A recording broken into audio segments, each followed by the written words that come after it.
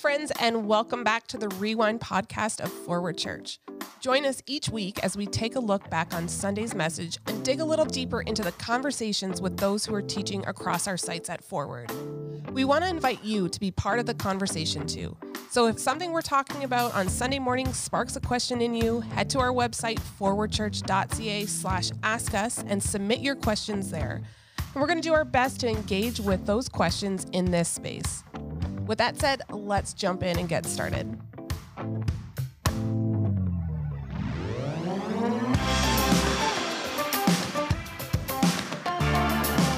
Hey, Rewind friends. I bet you weren't expecting to see me again because, shocker, someone in Blair's family is sick.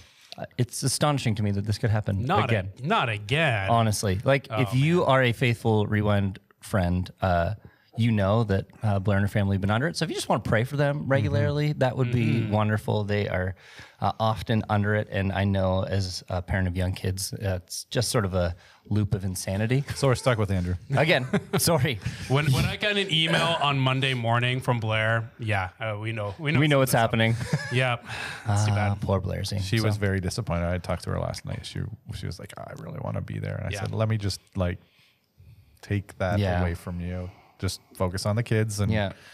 So pray for Blair and for Steve. And pray for us as we girls. get Andrew. I'm sorry. That's all I can do is just repent and ask the questions that you guys sent in. That's my whole mo. Um, so I want to start with this. Uh, Daryl, you specifically was listening to your message, and I noticed that Mm-hmm. you made multiple MCU. Uh, for those of you who don't know, what that means Marvel Cinematic Universe uh, references. You had, I did, you had yeah. Guardian of the Galaxy, and then you had an Infinity War, which Infinity War is my favorite Oh. in the MCU. And so I wondered, I know both of you guys nerd out on some Marvel stuff from time to time.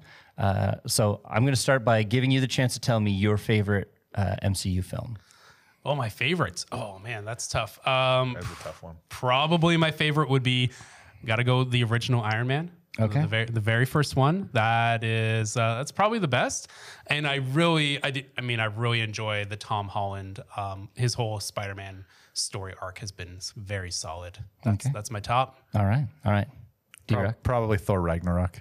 Really? Yeah. Nice. I just like the laughs. I, I, um, I, I find that movie very funny. That's true. yeah. Thor And I just love the way like it's just so different from the first couple Yeah. Thor movies and just to- totally like turns everything on its head. Lets Chris Hemsworth stretch his comedic chops and Yeah. Yeah. It was definitely a movement yeah. in, in the MCU. Okay. All right. I'll allow it.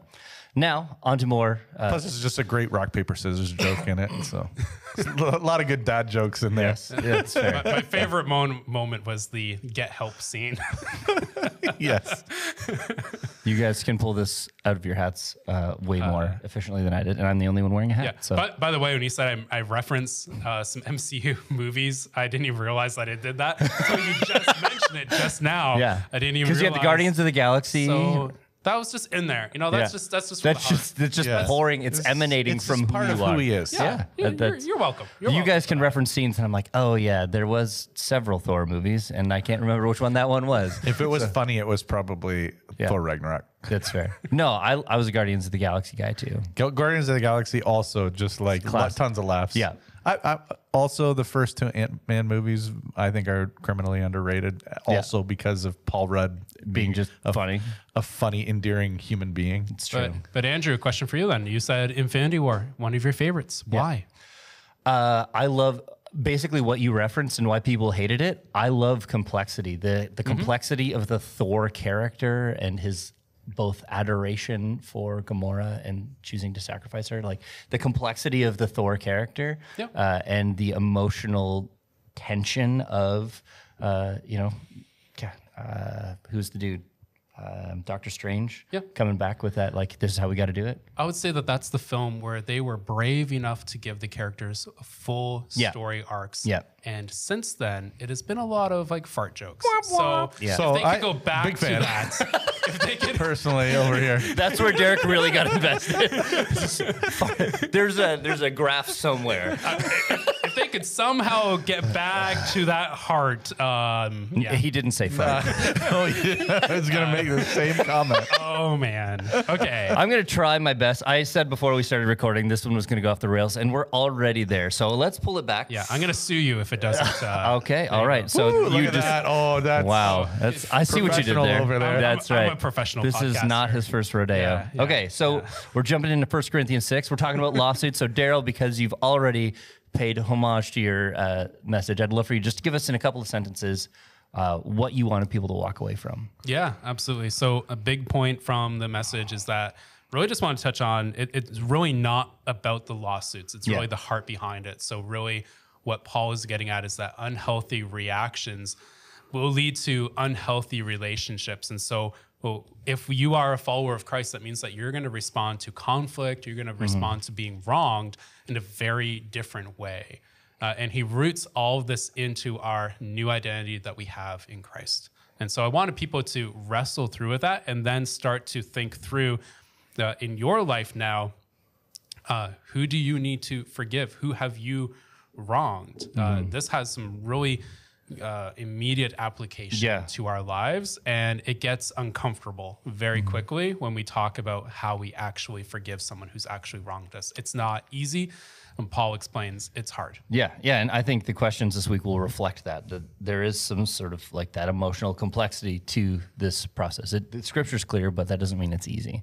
So, Derik, uh, I loved how you sort of meandered into the. It took this- a little time Yeah. up front, just kind of helping us recognize that in a fallen world, uh, conflict and community kind of are synonymous with one another. Yeah, and so I know we had a hallway conversation on Monday about that. I'd love you just sort of give us a snapshot of that. Why you why you took that route into the conversation, and then the like one or two sentence wrap up of what you tried to say after. Yeah, I think one of the dangers we face um, i- as Christians in Christian community is we can have an idealized view of what community is going to look like in a Christian context, and that we're not going to have to do. If we were really like, if we all really loved Jesus enough, then we just wouldn't have conflict. And so, this church or this community.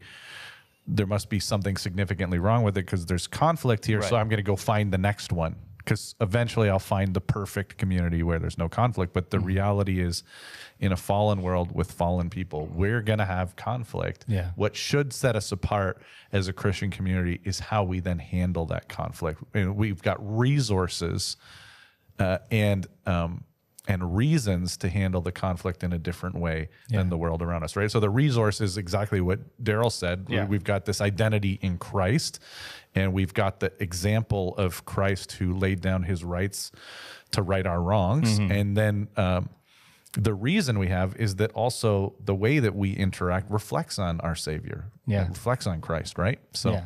And yeah, I love that. Just both of you guys are pretty crystal clear. Like, this is going to happen, guys. Like, stop, stop living in a world in your head where you're not going to have conflict. That Yeah. is a, I I think both of you referenced kids, right? Like, you don't need to like tell a parent, like, like this is an expectation you should have that your kids are going to fight. It's going to be difficult at times. Yep. Human beings get in conflict. we are e- like we could say even if we removed every person and we were on our own almost all of us are self-conflicted in Yeah, some way because really of the point, sin yeah. that's in us so you can't even say if i just got rid of everybody else i would Yeah. never have conflict Yeah, you've heard you heard jokes, I'm sure before of like, oh, you know, this job would be so much easier if it wasn't for the people or whatever, right? Then i made one of those this is a good pastor joke It's it's a well traveled pastor joke. I don't know that it's a good one. Those are two different things. But I love that you guys both constantly came back to this identity in Christ. And Derik, there's one uh, question directed uh, specifically to you. Uh, it said that Derik mentioned that when we're secure in our identity in Christ, we will have an easier time assuming the best in people. Which I, I my ears were perked at that too. Yeah. So it follows up. As Christians, are we supposed to assume the best in people, even though that we know that natural tendency of every human is depra- depravity and wickedness? So Yeah, I I I think let's yes, you can know that depravity we believe in total mm-hmm. depravity, which which by the way does not mean that every person is as bad as they could possibly be in every Right. area of life. Yeah. It just means that sin infects Yeah. and affects every part of who we are as a mm-hmm. human being. There's no part of us that's untouched by by the sin nature, and Yeah. there's no part of the world then that is touched by the sin nature, which means community too. Mm-hmm. But I think a lot of Christians operate out of a lens of distrust and cynicism Yeah. that is Okay. destructive to the soul. To the to your own soul. Is that what you're saying? to your own soul, but it also infects and affects the people around you. You can't have relationships with other people if, when you are Hmm. always constantly reading people, you're assuming things, wrong motives, bad behaviors into them, right? So let me give you let me give you one example. Somebody doesn't say hello to you while you're out at a store at Costco, and your immediate because you always see church people at Costco. Right. and your immediate response is, oh, they must have something against me. Hmm. Right. Oh, they must not like me. trying to avoid me. They're trying to avoid Yeah. me. When, like, I can tell you from, if, by the way, if you bump into me, assume that, like, you're going to actually have to run into my face in a store for me to notice you there. Amanda will tell you this. Like, I just, I, uh, if I'm driving along the road, I don't notice my own family while they're walking in the neighborhood. It's just not the way that I process the world. But for some people, they're going to assume, oh, the like ooh, the, that pastor is unfriendly. He doesn't know me. He doesn't notice me. We've assumed motives without any evidence that those things are true. We've assumed the worst things. yeah. And if you are, if you're secure in your identity in Christ, you're not constantly trying to pick out the faults and flaws with Right. people. You're not constantly dealing with those insecurities, and you won't. Um, you you you will have the capacity to just assume, oh, they didn't. They probably didn't see me. right? Yeah. Like that's assuming Yeah. the best. I'm not unless unless like you yell out their name, they look at you and turn away and keep and walk in the other direction. Yeah. And you've got some good reason to say For sure. Yeah. there's something there. Now, if you are in that spot where you just struggle with these things of assuming the worst in people, then you actually have a responsibility. And your responsibility is to go to the person and say, "Hey, uh, I I saw you in Costco the other day. Is and you didn't say hi. Is there something going on there?" So the person has the opportunity to explain themselves, Right. And you have the ability to release that thing Yeah. and not go tell somebody else, you know, that person's such a jerk. I mean, here's Yeah. the list of things I've been keeping track. I mean, there's just a totally different perspective. I'll give you a quote from Spurgeon because it, it, it's always good. Spurgeon does tend to throw fire at times. Yeah. So Spurgeon said, it would be better to be deceived a hundred th- times than to live a life of suspicion to his students. Hmm. Um, it- it- so what he's saying is it- like, it's better to miss a possible offense in an email that's sent to me. Right. Or a possible insult or a possible slight in that text or tweet than it is to always be looking for the offense and for the slight and Right. assuming it. When we live in the age of microaggressions, right? That's- whereas like we kind of go looking for the offense that somebody has done against me. Right. And that's what I'm talking about. We don't go looking for offense. We assume the best. I think that's that's really great. Yeah. Uh, so, Daryl, I'm going to throw a slightly different question to you. So, both of you guys identified the fact that, like, you know, the first half of 1 Corinthians 6 is talking about lawsuits between believers, but what we're talking about today isn't really that. Like, that's not the topic du jour. Yeah. So, would you help us to understand as we continue on through this conversation, what are we talking about? What are the things that are really the you know modern day translations of that if you know you're not off the hook because you haven't recently filed the lawsuit against somebody Yeah, I, I think the the application, uh, the heart behind this is, is not just the the lawsuit, but it is actually dealing with a wrong. Um, as you said, like we, uh, Derik and I both pointed out, like, hey, like you're gonna be wronged. Like that's that's pretty clear from the very beginning of the passage. Uh, but like, how are you going to respond? It's not just with a lawsuit that is an improper way to respond to someone. Um, you know, we can respond incorrectly by uh, blowing up on the person, just Okay, really yeah. getting like like overly angry with them, and like you're not going to let them leave the room until you tell them exactly what they think of you not saying hi to me at Costco, Derik. Uh, it would be derik of all of our pastoral I would, I'm not even going to hear him because I still got my AirPods in with noise canceling. So Yeah, I'd, Zach. I, it'd be really fresh at the end. I'd say, "Oh, sorry, are you talking to me?"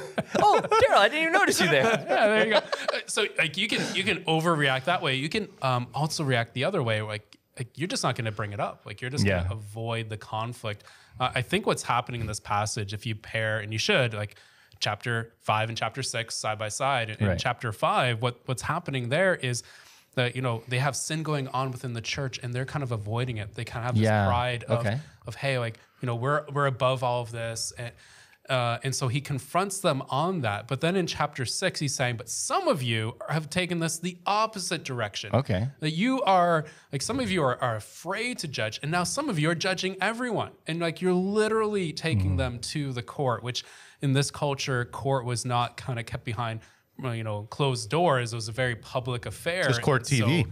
Uh, you know, It's it's- Judge Judy. No, it was, literally was uh, oftentimes a source of entertainment that people would go and they'd just go down and watch what was taking place at the court. in Huh, the in okay. the center of town. Yeah. Like, hey, we're gonna, you know, we're gonna get some ruling by by the judges, by the It's people. it's it's basically like going onto Twitter and Okay. just just to pop the popcorn and watch the the world burn. Okay, so it's so it's very much functionally the like the court of popular opinion almost. Yeah, there's a judge there, right? Yeah. But but people are coming to like see See the gossip, see right. all this Yeah. unfold. Okay. yeah.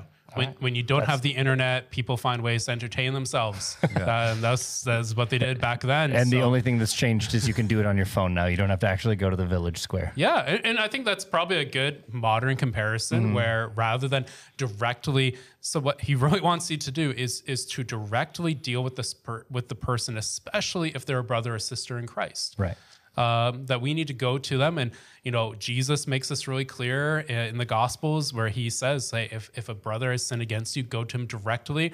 If he won't hear, bring a couple other people. And then if they won't hear that, bring it before the entire church. It's kind of like this escalating thing as you bring in more of the saints into the situation. But he's saying here in chapter six, like some of you are so eager to judge that you are you're bringing this in front of other non-christians. This is hurting your testimony uh, and it's hurting like your own soul. Like Right. you are not living out the way that christ has called you to live. And so that's really the conflict that's happening here. And so we have to be uh, cautious of how we're going to deal with with wrongs and with conflict in our lives. That we don't want to avoid it. Uh, we don't want to just explode on someone Yeah, put it on And- full display. I would say the the more common way that we deal with conflict is that instead of talking with the person, addressing it directly, we we tend to talk with everyone else about it. yeah. Yeah. You you bring in a close friend, a family member, a discipleship group, and say, "Hey, I don't know if you guys have heard about this."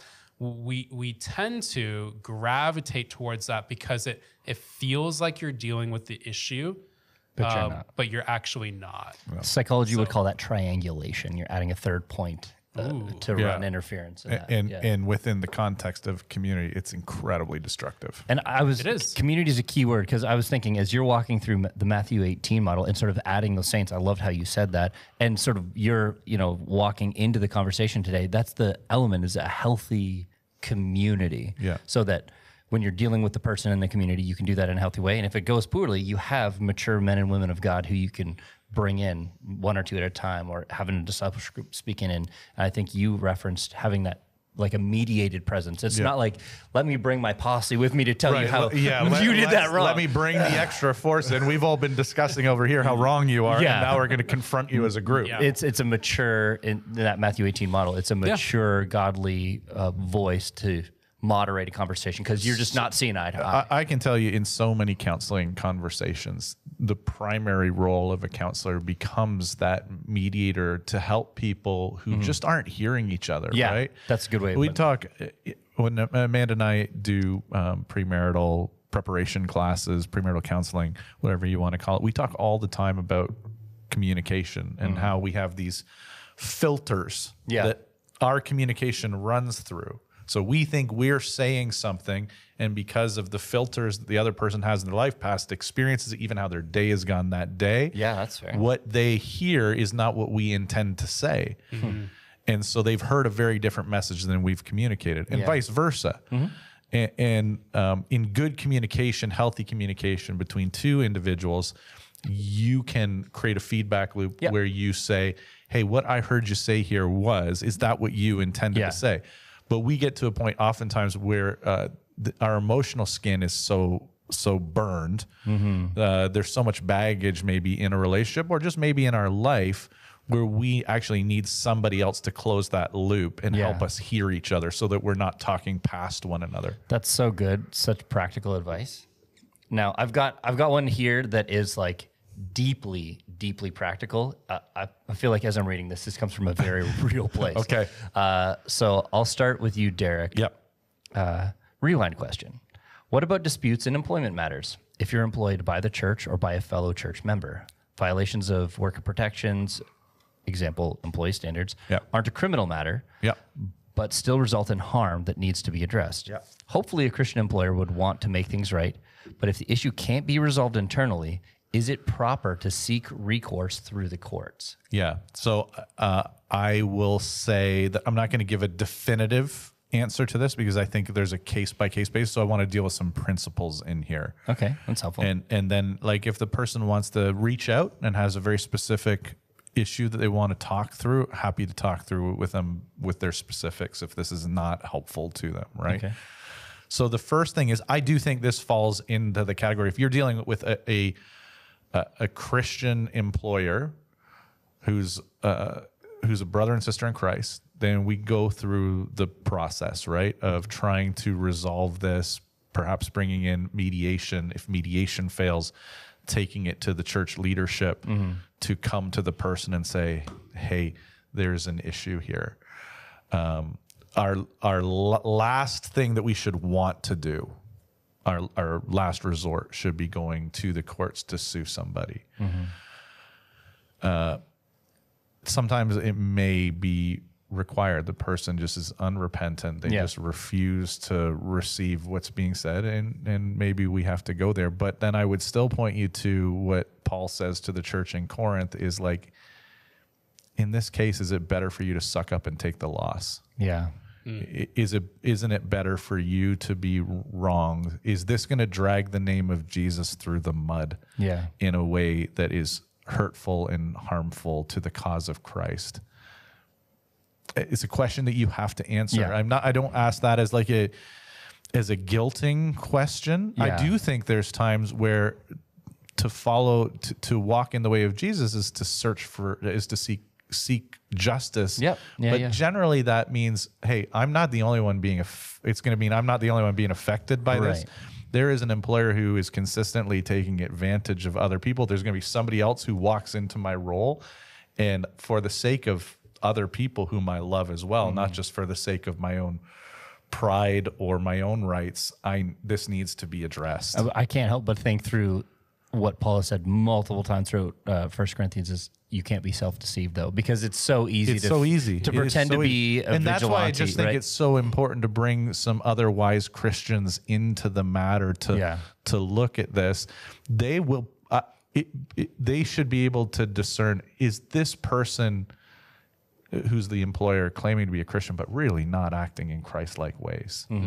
right now now we've you know if we go to matthew 18 and the person refuses to receive the judgment of the church leadership and we treat them like an unbeliever. Now we're in that spot of how does how should a christian deal with a lawsuit against an unbeliever? Yeah.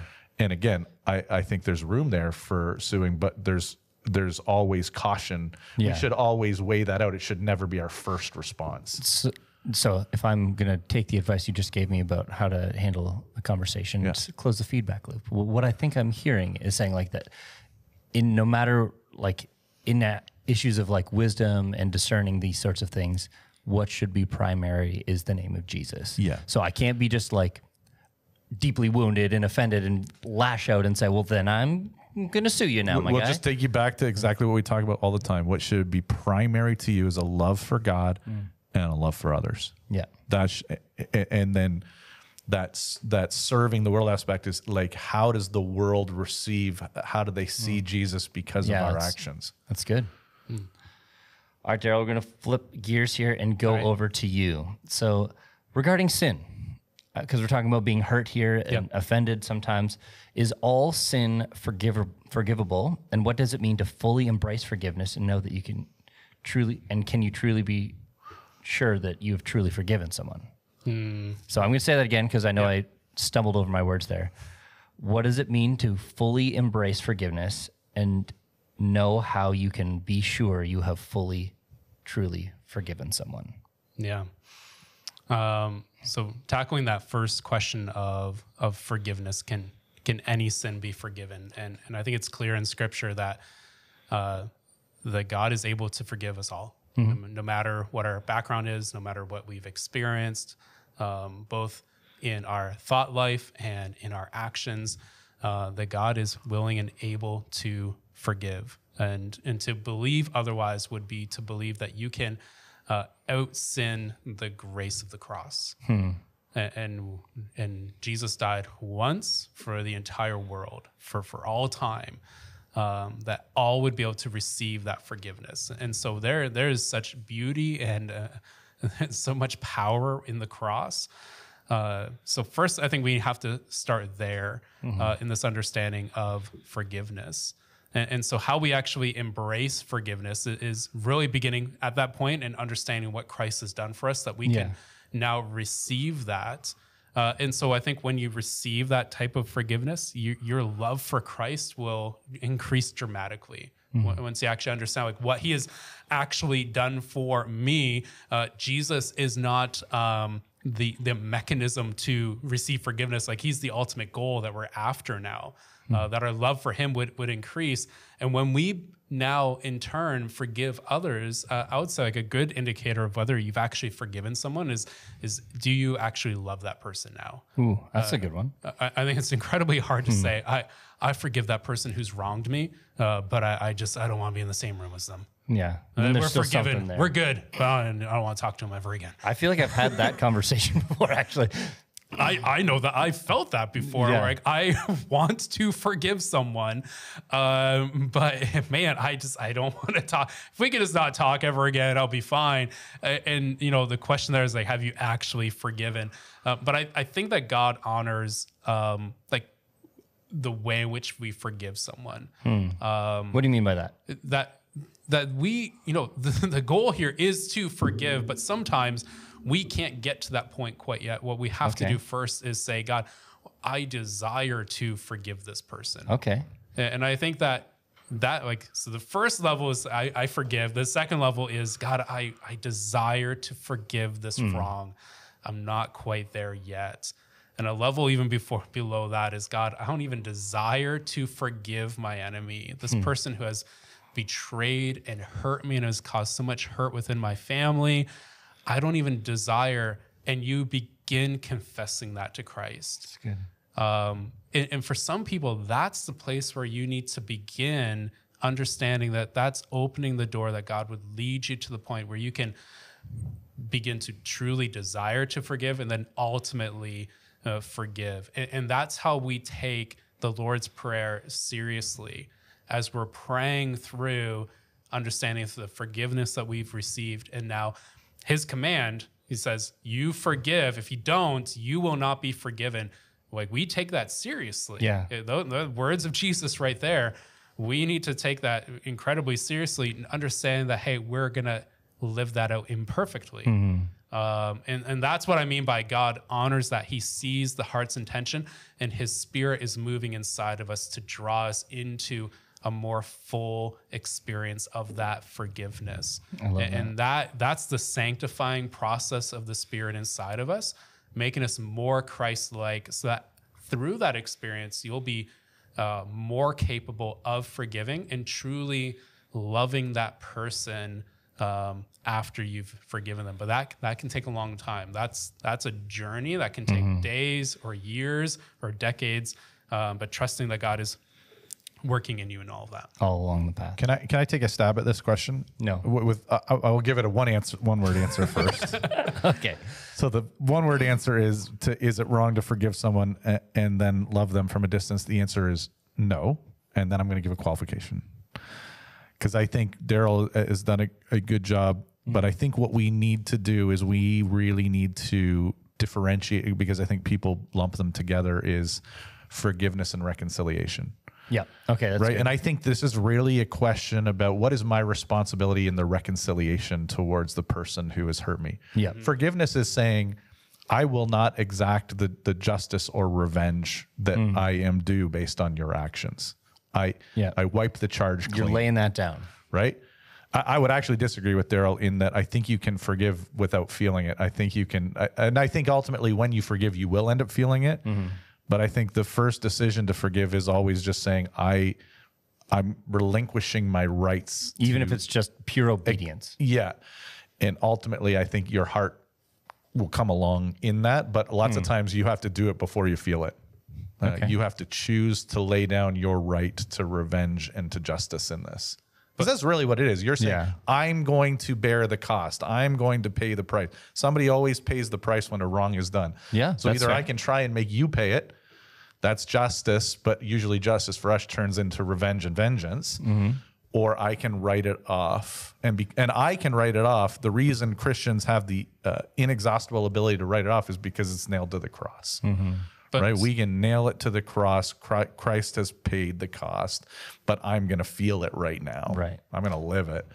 so, but uh, then the recon. This is where I want to get into the reconciliation because I think, yes, you can be, you can forgive and not be reconciled, but you cannot forgive and not leave the door open and have a desire for reconciliation. Right. So you can't be pushing them away, but you don't As have a, to be as a Christian, our desire should always be that we will be reconciled. But if a remember that reconciliation, uh, even in in our standing before God, requires repentance. And this is where we oftentimes, and this is where abusers will will twist this Right. whole concept. This is why I want to be really clear on it because I Yeah. just dealt with so many people who have abusers in their life who have taken this concept of forgiveness and twisted it Yeah. on on those they abuse you are not y- you're you have a responsibility to be open to reconciliation but when there is no repentance there cannot ultimately be reconciliation That's good. Daryl, you're trying to jump in there. Is there anything you feel like you need to? Yeah, I I was just gonna press on as, as Derik was saying there of like forgiveness, for that connection between forgiveness and love.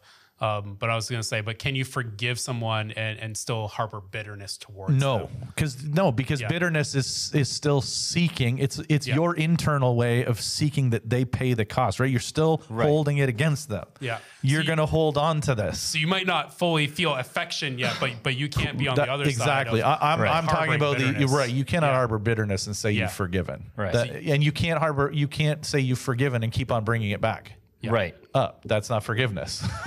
I think I think ultimately what we're we're coming up against here and what makes this whole conversation complex is that there's there is like an understanding of like our identity in Christ, the forgiveness that we receive through the finished work of Jesus, and how we feel in the moment when we've been hurted, Yeah. hurt and like offended, Uh, Or mixed- hurted. Hurt, I have, Oh, I blended very those two words. I got so hurted, I've been hurt, hurt before. or offended. Yes. I, we'll separate those two words out that came out as one. Uh, um, but then trying to figure out how do we clothe ourselves and live in that identity and like such easy church words to say stuff.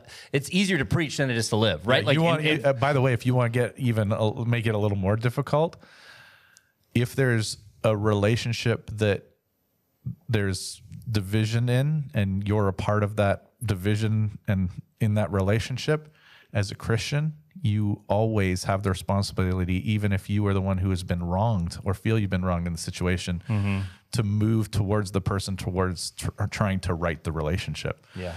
Uh, Matthew 5 uh, says, if you realize that you have done something to a brother, Yep. and Matthew 18 Yeah. says, if somebody has done something against you, and in both cases, you're supposed to move towards the person to make them aware of this reality with the hope that you'll find a repentant brother or sister and be able to enter into a process of reconciliation. And, and I think that's what Paul's getting at here is you can't be neutral in this and just say, "Hey, I'm out." Right. That you they did something to me, and then until they come to me, I Yeah. then we just this is the way it is. No, if you feel like somebody has done something to you, you have responsibility. If you know you or you hear that somebody has been offended by something or hurt hurt been hurt by something you did, now you have a responsibility Right.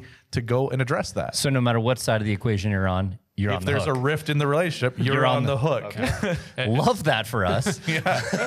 But the but actually the beautiful picture, if you take Matthew five and Matthew eighteen, is that in the ideal situation, you would have uh, two individuals who are on other sides of the town who are in a relationship, and both of them realize there's a rift in the relationship, and they start walking towards town to get to the other coming person, together. and they meet in the middle, Yeah. right? That's good. Now, this one, uh, you know, we talked about how some of this plays out on social media. So I think this is probably coming from that headspace. Sure. Should making the church aware of wolves in sheep's clothing, or I'm assuming they're meaning false teachers there, Yep. uh, be done in house, or should it be done publicly, pointing them out so that uh, the world knows that they're not speaking on behalf of the church? Uh, I think it depends. Yeah. um, again in a lot of these things there's context so there's there's principles and then there's context and we have Yeah. to be able to apply those things the first thing i want to be sure of you better be sure that it's a wolf and not just a sheep that has a, a different color wool than you're used to okay. All right. That's a beautiful analogy.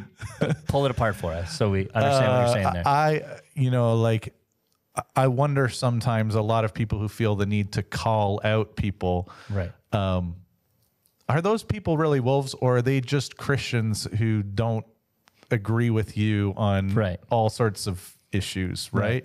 We we talk we've talked many times we'll continue to talk on this uh, podcast about differentiating between what issues are really gospel issues like Yeah. closed-handed, closed fist. You're not a follower of this, You're Jesus. not a follower of Jesus.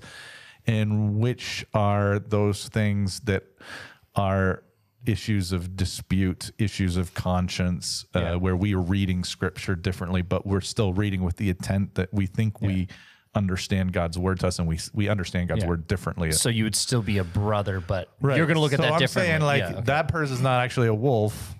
I've just never seen a sheep with that color wool before. Okay. and I and I have misidentified, right? Okay. So you better be darn sure if you're going to call somebody out as a wolf that they're really a wolf and they're not just another sheep that look different than you.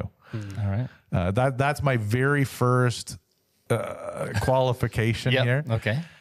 Then I think the issue is uh, sometimes where has the has the thing that has been said been said publicly and broadly to all people and Right. therefore should be addressed publicly and broadly in front of other people Right. or is it something that has been addressed in a different forum and should then be addressed in that forum right, Right.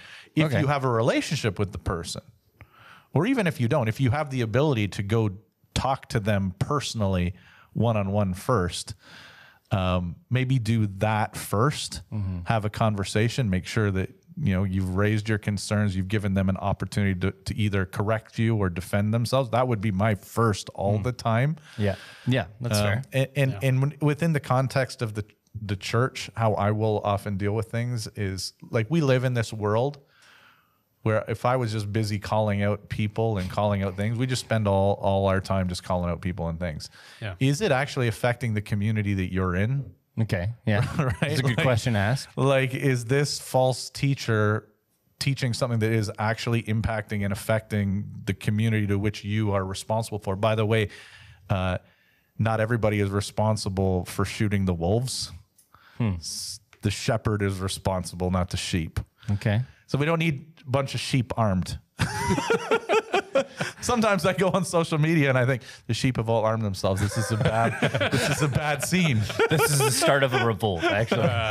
right? Yeah, like uh, on that point, what Derik was just saying, like like our responsibility is first and foremost to preach the truth and not to go after the wolves. Right. Love that. Like that. Like just try to help people to try so that they have the ability to recognize what's false in the first place. Yeah, like that. That's so important because I think like often, and you know, That's- it's been that said is so before that we like the church and, and Christians have been known for what we're against, not what we're for. Yep, Yep. Absolutely like, we need to be primarily focused on that. And, and admittedly, I've seen ministries and I've seen preachers where they go after the wrongs in the world far more than they do the, the preaching the truth. But in, and you know that's what we're called to is to be focused on the truth. Paul tells us like like focus your mind on that, Hmm. and, and that's I think the way in which you truly equip people for good. recognizing the wolves. Otherwise, uh, you're just you're not gonna have enough time in the day. Yeah. It's just a witch hunt, too, right? Like, Like you don't want to be calling up Derik every time you're not man. sure if someone on Twitter is wrong. Uh, actually, I would love for you to do that. Text 226. No, please don't. Well, our, our goal is to equip the saints. Yeah, that's so that good. You would be able Yeah. to recognize, hey, what I just saw on Twitter or on YouTube, that's not good for my soul. And, and now we're equipping the uh, the sheep to go in the right direction. And in a world of being self-deceived, it's it's easy to mistake going after the wolves when really what you're trying to do is puff yourself up. Yeah. yeah. Build up your pride. Yeah. I've got it right. They've got it wrong. Yeah. How could these people be so misled? Yeah. It just makes me feel good to put others down. I also recognize, as Derik said, like some some sheep look different, and, and some sheep are, are wounded. Uh, that's good. I mean, and, and a wounded sheep will bite. bite. Will bite, bite. back. It- you might you might be going after someone where the first thing you should do is actually be caring for their Yeah. soul. That's so good. Um, I- and a friend of mine messaged me something yesterday. I could have I could have been upset with him, and I'm like, uh, "You okay?" so, anyways, we he was fine. Like, it was just a miss. Uh, it was actually an autocorrect problem with texting.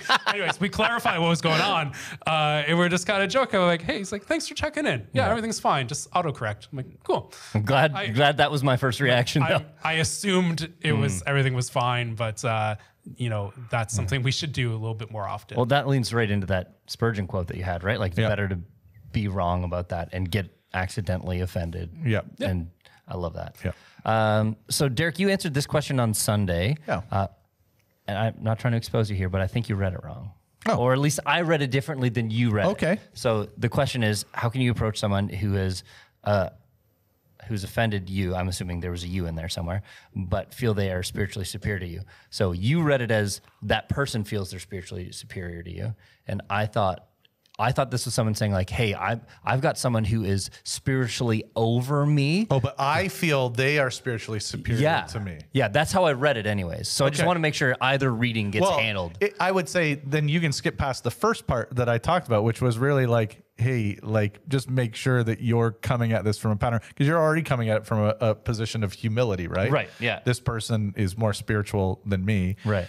But don't be in like intimidated by that because our superiority of our spirituality only comes from Christ, right? Like, And then we I all know get the there is no yeah. superiority.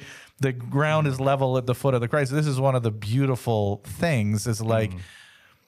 I should be open to having you know any brother or sister call me out, no matter how long they've been following Jesus. If they see Mm-hmm. something that's askew in my life, that's Mm-hmm. God's gift to me. If they're actually spiritually superior, that's the way they'll treat it. Yeah, that's they'll, fair, They'll actually, actually yeah. receive it as like, well, thank you for coming to me and making me aware of my blind spot here, Mm-hmm.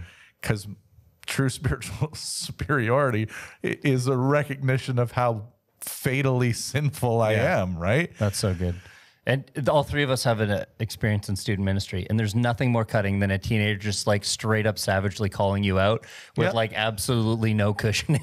you're like, oh, but you're so right. and Yeah. And just being like, well, I got to eat that. Let's. Yeah. That's just on me. Hum- humility is will be will be the revelation that they've actually like they are being sanctified in their journey towards Jesus. All right. So I got another one specifically uh, handed to me that's directed at you, Derik. Okay. So when you are uh, Did my wife send this in? No, no. Okay. Uh, it was uh, one of our young people wanted to know when Okay. you're washing your face, at what point do you stop? Oh, I already got this question. then this is good. I don't. Okay. All right. I You body just wash. don't, you just keep going. Why Just would I? Right up the dome. You okay. just you just take that loofah, scrub Okay, the face, and right, right over the head. You're done. Like this. so you're exfoliating as well. one of the beauties. Uh, you know, like uh, I would highly recommend baldness to to all individuals who want to be efficient, who want to be wise stewards Okay. of their money. All right. Okay. Uh, all, you you don't you don't need to get haircuts. It's fair. You can do it. It's you a DIY need, You don't need shampoo and conditioner anymore. That's right. Okay. Especially me, I got oily skin, so that's why it shines so well. Well, I'm glad we did that deep dive. Uh, I I did that one specifically with one actual question left, so we didn't end on that. Okay, because okay. I felt like that was not going to be the right way to end. That was Marin's question. it I sure believe. was. I wasn't going to expose her, but Her mother already did. Her mother exposed her to me yesterday. You're very welcome for that. Um, okay, so I'll start with you, Daryl, and then we'll flip over to Derik, and then we'll wrap up here. If I have something against my neighbor or brother, but I forgive them, do I have to tell them or can I just forgive them and not have anything to do with them anymore? Essentially, just walk away from the relationship. I'm sorry for laughing, but this is. This I is love so this good. question. I love this question because it's real, right? It's a, like, yeah, no, no, like oh, I don't want to have to deal with this. I'm just going to forgive Yeah. because there's so many Oh, times people I've- offend you. I, yeah. I've been there, man. This is why I laugh. Like, and people we- hurt you and they don't even know it, right? And you're like, so do I have to actually like make this a thing now Yeah. and like put it on display when I could just be like, ah, we're fine.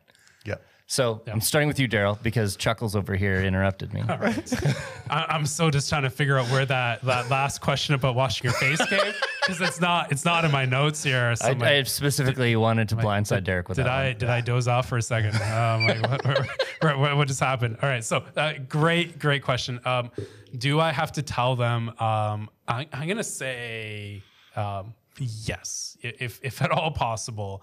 Uh, you're you're gonna have to tell them. Um, I, I touched on this uh, in in my um, question on on Sunday uh, after the sermon, where I talked about the idea of incarnational ministry. Um, that that Jesus came to the earth to to walk with us, to minister to us directly, uh, a- and now He has given us that ministry now to go to other people directly to. Uh, to be in their space that we don't want to just have ministry from a distance but uh, but close up and, and so and that's how we um, live out what Christ has called us, what He has called us to. And so, in the idea of forgiving someone, I, I think you do have to go to them and let them know that they have been forgiven and that you would seek after restoration. Um, that that that's an important aspect of the forgiveness. It's going to start first in your heart. Like it's going to start on a personal level, but it's going to go beyond that. And so I think that is incredibly important. But I don't know if the the, the follow up question where it's asked, uh, essentially, can I walk away from the friendship? yeah. A- And I don't know if you are commanded, though you have forgiven and have extended the invitation for restoration, if that restoration results in an ongoing friendship. Um, that might it might be that the friendship is going to look dramatically different because of the offense that has happened. Um, and and you need to recognize that. I don't think that the goal is to get back to the friendship. um, I, I think the goal in this is actually, um, and I know this might sound a little scary for some of us, but it's actually when you forgive someone, like that's actually a, a discipleship moment in their life where you can actually help them to become a, a better follower of Christ because they have received uh, correction, forgiveness, restoration, all of this with the hope that we're growing in our relationship, first and foremost, with Christ. Uh, and it's not about actually restoring the friendship because I've experienced this where someone has sought to restore the friendship above that call to follow Christ. Ooh, that's good. Um, I'll, I'll gloss over what has happened. Let's just get back to hanging out. And, and that's not what we're called to. We, we need to be pointing people to Jesus, even if that results in you're not as close as you once were. That might, I mean, that's part of what Paul's saying of uh, why not suffer wrong? Like, hey, that's kind of taking a hit. You might not have the same level of friendship as you once have. Um, if you're desiring that, reading this, it sounds like they want to walk away. Yeah, Uh, yeah. So I would I would challenge them a little bit on that. Of are you walking away because it's easier? Yeah. Um, or have you really sought restoration? So there's that side. Maybe I'll throw it back to Derik. Maybe you can speak on it from that perspective. I, I feel like I covered this in what I was saying before, which is you absolutely, if there is a relationship in need of repair and you are aware of it, you have a responsibility to go to the person. Yep, no matter Even if side. they are completely unaware that something had taken place, your job is to go to them and say, hey, when this happened, here's how I felt. Like, here's how I experienced this. Um, uh, like I said, the reconciliation uh, and the restoration of relationship, I think you have a obligation to be open to that. But there is a requirement on the other person to actually repent. Yeah. And repentance involves action, not just words. That's good. Yeah. So, There's actually things that you do to show that you're repentant and not just sorry that you're dealing with the consequences of your sin. yep. Um, it's sorry about the sin. Yeah. right. I'm sorry about the sin, not just that like this has made things more uncomfortable for me, more difficult for me. And the reality is, as Daryl has already said, the friendship may not look the same mm-hmm. on the other side of that. That sin has consequences that carry forward. I think you should probably remember you're going to spend eternity with this person if they are a follower of Jesus. Yeah. And Maybe that's what we're start to get about to work on that right now. That's good. That's good. Because eternity is a long time to avoid somebody. It's true. It's literally endless. Okay. All right. Yeah. That's a that's a, a daunting reminder from your lead pastor.